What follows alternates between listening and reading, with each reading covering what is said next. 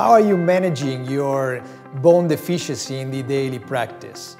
How is your predictability when you are talking to a patient and proposing a bone augmentation procedure? I'm Luca De Stavola. I'm here to introduce my channel dedicated to the ridge augmentation. It's a channel where you can find all the information related the decision criteria, how to perform an augmentation, which type of material you should use or you are supposed to use to obtain the goal and the objective of the treatment you want to follow.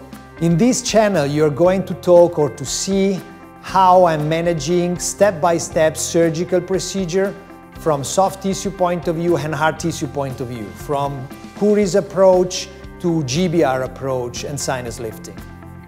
We are going in this channel also to talk about new technologies like computer-guided bone harvesting from the retromolar area, how to improve the predictability generally of your bone augmentation procedure.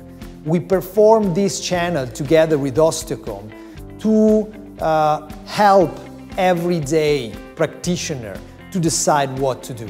I studied four years with Fouad Khoury in Germany after my graduation at the University of Padua in Italy.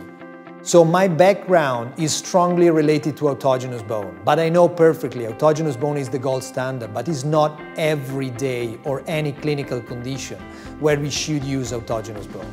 So we were talking and we are talking about GBR too, about small deficiencies management. I hope to see you on the channel because this channel is growing every day, every year with new approaches, new videos, surgical session, with new idea in terms of soft tissue management, also with publications that are coming on international papers.